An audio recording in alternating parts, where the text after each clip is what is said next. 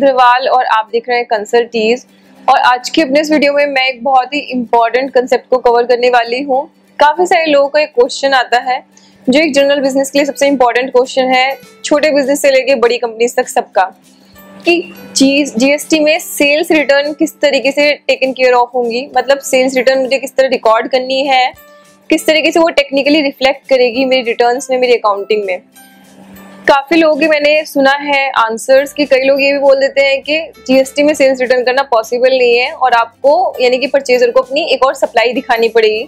तो first of all मैं आपको एक क्लियर कर दूँ जीएसटी में सेल्स रिटर्न बुक करना बिल्कुल ईजी है और ऐसा बिल्कुल भी नहीं है कि जीएसटी में आपको सेल्स रिटर्न करना अलाउ नहीं है या आप उसको बुक नहीं कर सकते, आप बिल्कुल बुक कर सकते हैं।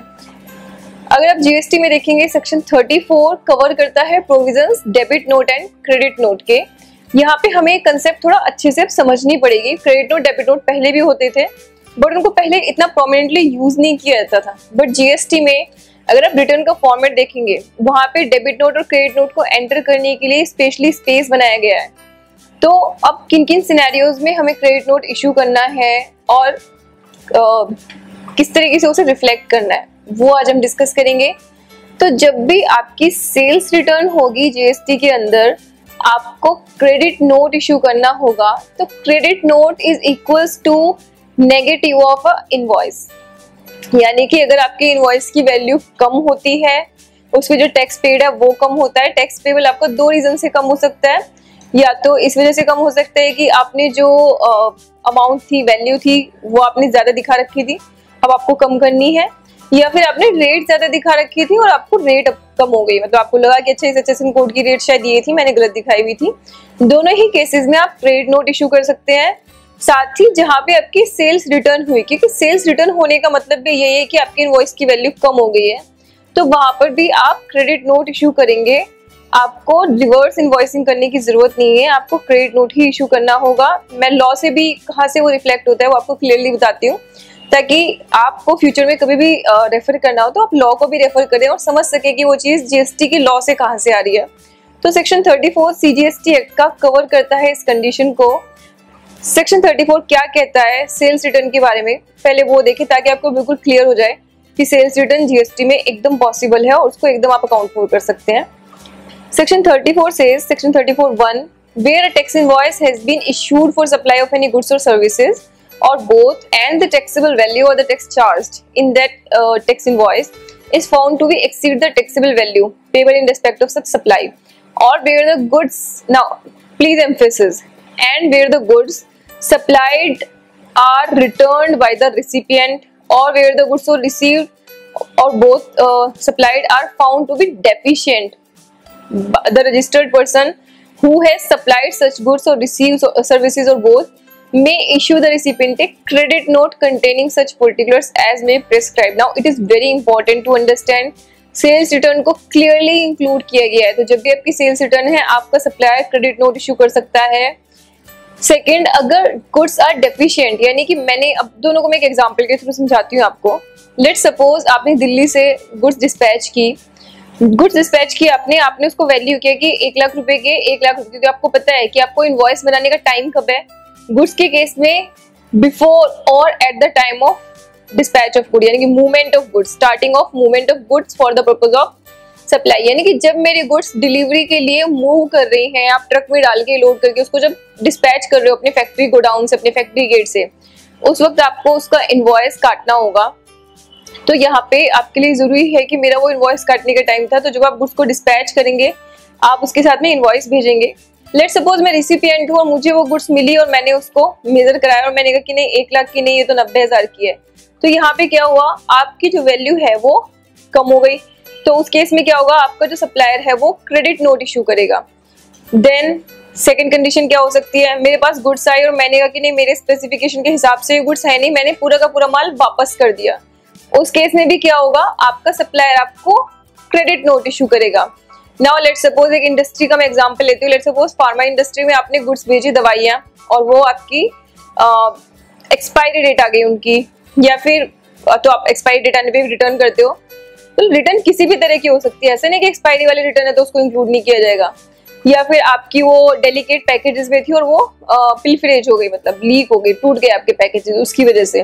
तो क्योंकि उन्होंने खुद भी बोला है कि if the goods are found deficient supply अगर डेफिशिएंट है तो भी आप उसको रिटर्न कर सकते हो। तो उस सब केस में आप उसको ड्यूली रिटर्न कर सकते हैं और उस केस में आपके सप्लायर को आपके क्रेडिट नोट इशू करना पड़ेगा। अब सेकंड क्वेश्चन अराइज होता है कि क्रेडिट नोट को अकाउंट फॉर कैसे किया जाएगा? जब आप सप्लाई करोगे तो आप अपनी सप्लाई बुक करोगे अपने सप्लायर का अकाउंट आप आ, उसके लिए आप अपने सप्लायर के अकाउंट में मतलब टेकन के फोर करोगे उस सप्लाई को। देन सो so जब आप सप्लाई करोगे तो आप सप्लायर का अकाउंट अपने रिकॉर्ड्स में उसको आप फिल करोगे विद द सप्लाई की। मेरे सप्लायर के अकाउंट में इतनी सप्लाई होगी और साथ में आप उतने पैसे उससे रिकवरेबल भी दिखा दोगे, यानी कि आपके डेटर्स खड़े हो गए। जब आप क्रेडिट नोट की एंट्री करोगे तो आप सप्लायर को जो आपने पहले एंटर किया था, उसको आप रिवर्स कर दोगे और जो उससे पेमेंट रिसीव होना है, वो भी अमाउंट आपकी कम हो जाएगी। तो पहले आपको एक लाख रुपए लेने बनते थे, अभी आपके नब्बे हज़ार रुपए लेने बनेंगे। अब क्वेश्चन राइज होता है। देखो, दो, तीन अलग अलग टाइमिंग हो सकती है क्रेडिट नोट इशू करने की टाइमिंग के हिसाब से उसका रिटर्न में ट्रीटमेंट थोड़ा सा इफ़ेक्ट होगा। कैसे?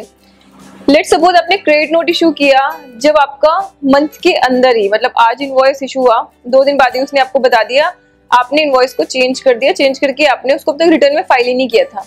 तो आपका मंथ के बीच में जो भी चेंजेस हुए, उसका फाइनल इनवॉइस बना के उसी को आप अपने रिटर्न में एंटर करोगे। आप अपने सप्लाईज में एंटर करोगे, आपका रिसिपियंट उसको एक्सेप्ट कर लेगा। कोई इशू नहीं है, क्योंकि रिटर्न में जाने से पहले गवर्नमेंट तक डेटा जाने से पहले जो चेंजेस थे वो हो गए। सेकेंड कंडीशन वो होती है जहाँ पे चेंजेस हुए आपके 10 तारीख के बाद। यानी कि अब 10 तारीख को क्या हुआ होगा? 10 तारीख को आप रिटर्न फ़ाइल कर दोगे सप्लाईज की। तो मान लो उस डेट तक भी जो वैल्यू थी वो एक लाख रुपए थी। अब जब रिसिपियंट ने उसको देखा अपने जीएसटी टू के टू ए पार्ट में। तो उसने देखा कि अच्छा वन लैख है, उसने कहा कि नहीं, ये तो मेरे को नाइनटी थाउज़ेंड बुक करना है। उसने उधर से क्या किया? मोडिफाई कर दिया। आप अगर देखेंगे तो रिटर्न में जीएसटी टू में, वहाँ पे मैंने आपको डेमो भी दिया है अपनी साइट पे, अपने इस यूट्यूब चैनल पे। तो वहाँ पे आपके पास ऑप्शन है कि आप सामने की जो आपकी सप्लाई ने इन्वॉइस एंटर किया आप उसको मॉडिफाई भी कर सकते हो। आपने मॉडिफाई करके बोला कि नहीं नाइनटी थाउज़ेंड वैल्यू थी। तो सत्रह तारीख तक का टाइम आप, आप फिर से अगर रिमाइंड करेंगे तो सत्रह तारीख तक का टाइम फिर से सप्लायर को दिया गया है जो आपके मॉडिफिकेशन है यानी कि रेसिपियंट के वो उसको एक्सेप्ट कर सकता है। वहाँ पे अगर वो एक्सेप्ट कर लेगा मैटर यहीं पे खत्म हो गया। क्योंकि अब तक क्रेडिट पूरा यूटिलाइज नहीं किया रिसिपियंट ने और आपने भी अपनी फाइनल आउटपुट टैक्स लाइबिलिटी पे नहीं किया तो अभी तक कोई फ़र्क नहीं पड़ा। वो यही के आपका मैटर रिजोल्व हो गया आपकी सेल्स रिटर्न बुक हो गई कोई टेंशन नहीं है। अब तीसरा केस आपका वो अराइज होगा जहाँ पे आपने लेट सपोज़ इनवॉइस एंटर किया रिसिपियंट ने एक्सेप्ट भी कर लिया। क्योंकि देखिए, कुछ supplies depending on the industry ऐसी होती हैं, जहाँ पे रिसिपियंट को बहुत महीनों के बाद समझ में आता है। ठीक है, या फिर लेट सपोज़ मैं फार्मा इंडस्ट्री का एग्जांपल लेती हूँ तो आपकी जो गुड्स है, मान लो उनकी एक्सपायरी डेट कुछ महीनों के बाद खत्म हुई। ठीक है, अब आप, अब देखो उसका इफ़ेक्ट क्या आएगा। सप्लायर अपनी आउटपुट टैक्स लाइबिलिटी दे चुका उस पर्टिकुलर इन्वॉइस पे। ठीक है, वो गवर्नमेंट के अकाउंट में जा चुकी। अब अगर उसको वो बुक करानी है सेल्स रिटर्न तो उसको रिडक्शन करनी पड़ेगी in his output tax liability यानी कि आपका जो टैक्स आप ऑलरेडी दे चुके आपको उसमें से रिड्यूस करनी पड़ेगी अपनी लाइबिलिटी तो उसका बेनिफिट आपको एज ए क्रेडिट मिलना चाहिए।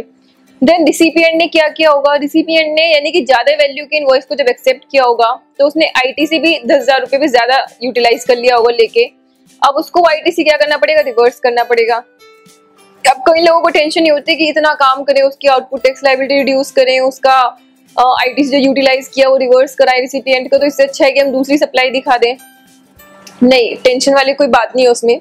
देखिए, जैसे आप अगर जीएसटी में देखेंगे, दो मैचिंग है। पहली मैचिंग आपकी इनवॉइसिस की है और आपकी डेबिट नोट और क्रेडिट नोट की भी मैचिंग है।